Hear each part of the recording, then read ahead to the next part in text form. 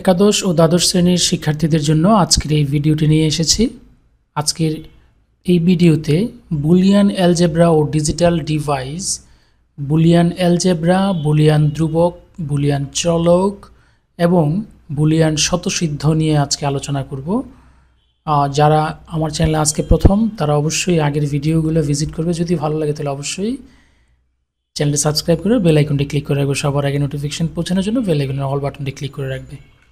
কথা না বেরিয়ে চলে যাচ্ছি। আজকের মূল এপিসিডে বুলিয়ান অ্যালজেব্রা ও ডিজিটাল ডিভাইস প্রথমে আমরা ডিজিটাল ডিভাইস কি এর সংজ্ঞা শিখব। যে সকল যন্ত্রে বাইনারি পদ্ধতির সাহায্যে হিসাব নিকাশ করা হয় তাদেরকে ডিজিটাল ডিভাইস বলে বা ডিজিটাল যন্ত্রপাতি বলে। এরপরের সংজ্ঞায় চলে আসি, বুলিয়ান অ্যালজেব্রা কি? আসলে বুল থেকেই বুলিয়ান এসেছে, জর্জ বুল নামক একজন ইংরেজি প্রখ্যাত গণিতবিদ ছিলেন ম্যাথমেটিশিয়ান, নাম ছিল জর্জ বুল। তো জর্জ বুল গণিত ও যুক্তির মধ্যে সম্পর্ক দেখিয়ে যেসব অ্যালজেব্রা আবিষ্কার করেন, তাদেরকে বলা হয় বুলিয়ান অ্যালজেব্রা। আমরা ডিটেলস পড়ব বুলিয়ান উপপাদ্যগুলো। এর আগে জেনে নেই, এই বুলিয়ান অ্যালজেব্রায় যার মান সময়ের সাথে অপরিবর্তিত থাকবে, তাদেরকে বলা হয় বুলিয়ান কনস্ট্যান্ট। আর সময়ের সাথে যদি চেঞ্জ হয়, তাহলে হবে বুলিয়ান ভেরিয়েবল বা বুলিয়ান চলক। যেমন, বুলিয়ান ধ্রুবকের মান জিরো অথবা ওয়ান হয়ে থাকে, সাধারণত। যেমন বি সমান সমান ওয়ান প্লাস জিরো, এখানে ওয়ান এবং জিরো হচ্ছে ফিক্সড, চেঞ্জ করতে পারছি না আমরা, দ্যাটস ওয়াই এগুলো হচ্ছে ধ্রুবক। কিন্তু আমি যদি এখন চলকের এক্সাম্পল দিই, যেমন X equal to A plus B এখানে এর মান কিন্তু জিরো এবং ওয়ান যে কোনো একটা মান আমি নিতে পারি, সুতরাং এই এ কিন্তু একটা চলক বি কিন্তু একটা চলক এ এবং বি এর মান কিন্তু চেঞ্জ হতে পারে জিরো অথবা ওয়ান হতে পারে। এরকম চলকের মান সাধারণত A B C X Y Z ইত্যাদি ব্যবহার করা হয়। ইংরেজি বর্ণমালাগুলো সাধারণত ব্যবহার করা হয়। এই বুলিয়ান চলক এবং বুলিয়ান চলকগুলো সাধারণত ব্যবহার হচ্ছে বৈদ্যুতিক সার্কিট বা সংযোগ তারের ইনপুট এবং আউটপুট লজিক অবস্থা নির্দেশের জন্য। স্বতঃসিদ্ধ মানে হচ্ছে ওয়ান কাইন্ড অফ রুলস বা যে সমস্ত নিয়ম মেনে চলতে হয় বুলিয়ান অ্যালজেব্রা লেখার ক্ষেত্রে, সেগুলি হচ্ছে বুলিয়ান স্বতঃসিদ্ধ।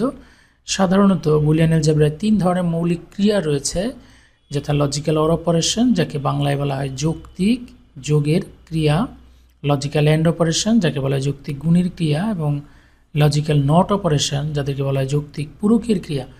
আমরা একটু দেখে নিচ্ছি লজিক্যাল অর অপারেশনে zero plus zero equal to zero zero plus one equal to one one plus zero equal to one one R one equal to one এই চারটা নিয়ম কীভাবে আসলো, এই সূত্রগুলো কীভাবে আসলো তার প্রমাণ আমরা পরবর্তী ভিডিওতে দেব। যদি কমেন্ট সেকশনে তোমাদের কমেন্টস পাই। লজিক্যাল অ্যান্ড অপারেশন হচ্ছে গুণের নিয়ম। নর্মাল গুণের মতোই হয়। এখানে ডট চিহ্ন দিয়ে প্রেজেন্ট করা হয়। আর নট হচ্ছে পূরক বা ইনভার্সের কাজ। যেমন জিরো নট শূন্য না, তার মানে ওয়ান ওয়ান না, তাহলে হবে জিরো। এরকম কিছু বৈশিষ্ট্য রয়েছে, যেমন তিনটা মৌলিক ক্রিয়া রয়েছে অ্যান্ড অর নট এই তিনটাই অপারেশন এবং এখানে শুধুমাত্র জিরো এবং ওয়ান দুইটা অঙ্ক ব্যবহার করা হয় হ্যাঁ? ডিজিট ব্যবহার করা হয়, কিন্তু এখানে ভগ্নাংশ, কাল্পনিক সংখ্যা লগারিদম ঋণাত্মক, এগুলোর কোনো অস্তিত্ব নাই। শুধু রিয়েল মান, জিরো এবং ওয়ান দিয়ে সমস্ত কিছু, যোগ এবং গুণের মাধ্যমে সমস্ত কাজ কিন্তু শেষ করা যায়। আর দশমিক যে অ্যালজেব্রা রয়েছে, সেগুলোর কিন্তু চাইতে কিন্তু অনেক সহজ। আমরা একটু কম্পারিজন দেখব। যদি বৈশিষ্ট্য আসে দুই মার্কসের জন্য সর্বোচ্চ আসে যদি বৈশিষ্ট্য আসে তাহলে তিন থেকে চারটা বৈশিষ্ট্য দিলেই এনাফ এখানে অনেকগুলো বৈশিষ্ট্য আমরা দিয়ে রেখেছি তোমাদের সুবিধার জন্য। আমরা একটু পার্থক্যে চলে আসি। বুলিয়ান অ্যালজেব্রা এবং সাধারণ অ্যালজেব্রার কিছু পার্থক্য রয়েছে। যেমন বুলিয়ান অ্যালজেব্রায় ডিজিটাল সিস্টেম ব্যবহার করা হয়, আর সাধারণ অ্যালজেব্রা সাধারণত বীজগণিতীয় রাশির মান বের করার জন্য ব্যবহার করা হয়। বুলিয়ান অ্যালজেব্রায় আমরা আগেও জেনেছি জিরো এবং ওয়ান ছাড়া অন্য কোনো ডিজিট ব্যবহার হয় না। আর সাধারণ অ্যালজেব্রায় জিরো থেকে নাইন পর্যন্ত যে কোনো ডিজিট কিন্তু ব্যবহার হতে পারে। ঋণাত্মক সংখ্যা, কাল্পনিক সংখ্যা, লগারিদম এগুলোর কোনো অস্তিত্ব নেই বাট সাধারণ অ্যালজেব্রায় কিন্তু এগুলো রয়েছে। বুলিয়ানে শুধু যোগ এবং গুণের মাধ্যমে হয়, আর এই সাধারণ অ্যালজেব্রায় কিন্তু যোগ, বিয়োগ, গুণ, ভাগ এরকম অনেক কিছুর মধ্যেই কিন্তু কাজ, গাণিতিক কাজ রয়েছে। জ্যামিতিক ত্রিকোণমিতিক সূত্র ব্যবহার করা যায় না বুলিয়ান অ্যালজেব্রায় বাট সাধারণ অ্যালজেব্রায় কিন্তু ব্যবহার করা যায়। বুলিয়ান অ্যালজেব্রার পূরক বা কমপ্লিমেন্ট রয়েছে বা বিয়োগের কাজ করা হয় যোগের মাধ্যমে। আমরা চ্যাপ্টার থ্রির টুস কমপ্লিমেন্ট সিস্টেমে দেখেছি। সাধারণ অ্যালজেব্রায় পূরক বা কমপ্লিমেন্ট নাই। ওকে, আমরা একটু দ্বৈতনীতি পড়ে আসি। দ্বৈতনীতি মানেই হচ্ছে দুই নিয়ম, বুলিয়ান দুই নিয়ম। প্রথম নিয়মটা হচ্ছে অর থাকলে, অর্থাৎ যোগ থাকলে এটা চেঞ্জ হয়ে গুণ করে দিব। আবার গুণ থাকলে যোগ করে দেব। এটাকে বলা হয় পরস্পর বিনিময় করা। প্লাস থাকলে ডট হবে ডট থাকলে প্লাস হবে। এটা একটা নিয়ম দ্বৈত নীতির। নীতির প্রথম নীতি এটা। আর দ্বিতীয় নীতি হচ্ছে জিরো থাকলে ওয়ান আর ওয়ান থাকলে জিরো করে দিব ইন্টারচেঞ্জ করে দিব। আমরা একটা এক্সাম্পল দিয়েছি এখানে one plus one equal to one একটা সমীকরণ। এটা হচ্ছে বৈধ সমীকরণ বা লিগেল সমীকরণ।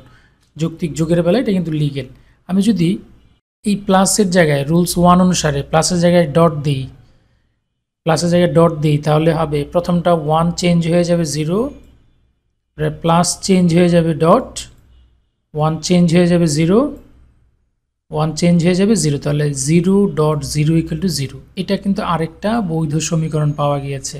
শূন্য আর শূন্য গুণ করলে কিন্তু শূন্য হয়। আরেকটা এক্সাম্পল আমরা দেখি zero plus one equal to one এখানে যদি আমি চেঞ্জ করি ওয়ানগুলা জিরো করে দিলাম আর জিরোগুলো ওয়ান করে দিলাম। যদি চেঞ্জ করি প্লাসটা যদি ডট করে দিই, তাহলে one dot zero equal to zero দেখলে কিন্তু কিন্তু আরেকটা বৈধ সমীকরণ চলে আসলো। তো দু টু ডুয়ালিটির মাধ্যমে কিন্তু একটা বৈধ সমীকরণকে চেঞ্জ করলে আর একটা বৈধ সমীকরণ পাওয়া যায়। বুলিয়ান উপপাদ্যের মৌলিক যে উপপাদ্যগুলো, মৌলিক উপপাদ্য আমরা এখানে দেখব। লজিক্যাল অরের বেলায় চারটা আছে লজিক্যাল অ্যান্ডের বেলায় চারটা এবং লজিক্যাল নটের বেলায় একটা সূত্র আছে, মৌলিক উপপাদ্য এটা।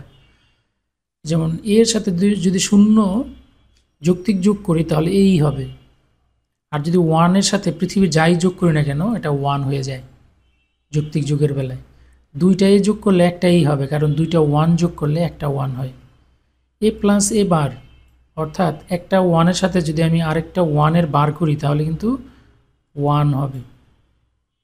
অথবা এর মান যদি জিরো নেই জিরো বসে একটু ম্যাথ করে দেখো খাতায় zero plus one equal to one যাই ধর না কেন এর মান শূন্য ধরার এক ধরো। রেজাল্ট কিন্তু ওয়ান হবে। আজকে সূত্রগুলো দেখে যাব, পরবর্তী ক্লাসে আমরা সূত্রগুলোর প্রমাণ নিয়ে আসব। ঠিক সেই মতে এর সাথে যদি শূন্য গুণ করি বা ডট করি যৌক্তিক গুণ করি, তাহলে জিরো আসবে। একের সাথে আমি যেই সংখ্যাটা যোগ গুণ করব, সেই সংখ্যাটাই আসবে। কারণ এর মান যদি শূন্য ধরি, তাহলে রেজাল্ট শূন্য আসবে। আর যদি এর মান ওয়ান ধরি, তাহলে রেজাল্ট ওয়ান আসবে। দুইটাই গুণ করলে একটাই হয়। A into A bar zero হবে অলওয়েজ এর উপর ডাবল বার দিলে বা ডাবল ইনভার্স দিলে এটা কিন্তু সদা সরাসরি এ থাকবে বারে বারে ওয়ান হয়ে যায়। এখান থেকে সাধারণত এমসিকিউ প্রশ্ন হয়, যেমন আইডেন্টিটি ল কোনটি, এরকম প্রশ্ন হতে পারে। চারটা অপশন দেওয়া থাকে, সেই অপশন থেকে আমাকে বাছাই করতে হবে। সুতরাং একটু ভালো করে খেয়াল করতে হবে। A plus zero equal to A এটা হচ্ছে আইডেন্টিটি ল এর সাথে যদি এক গুণ করি, তাহলে এ হবে। কারণ এর মান যদি শূন্য ধরি রেজাল্ট হবে শূন্য, আর যদি ওয়ান ধরি, তাহলে রেজাল্ট হবে ওয়ান সুতরাং এর উপর ডিপেন্ড করছে that's why output one output A dominance law একের সাথে যাই যোগ করো না কেন, পৃথিবীর রেজাল্ট হবে ওয়ান আর শূন্যর সাথে পৃথিবীর যাই গুণ করো না কেন রেজাল্ট হবে জিরো আইডোপটেন্ট ল এখানে দুইটা এ যোগ করলে একটাই হয়, দুইটা এ গুণ করলেও একটাই হবে।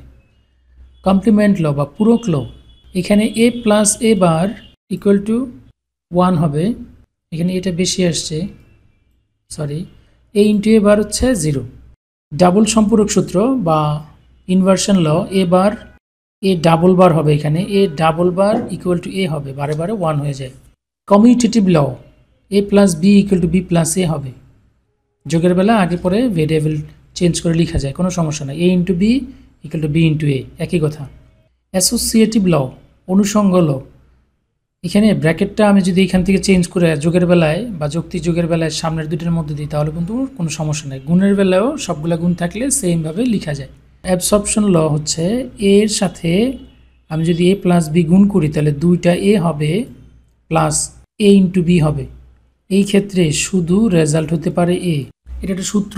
A plus A into B যদি আমি যোগ করি, তাহলে রেজাল্ট হবে এ এগুলো কিন্তু সূত্র অ্যাবজর্পশন ল। সরলীকরণ সূত্র A into A bar plus B এটা হবে শুধু এ বি এ ইন্টু এ বারের মান শূন্য, আমরা পড়ে আসছিলাম কিছুক্ষণ আগে।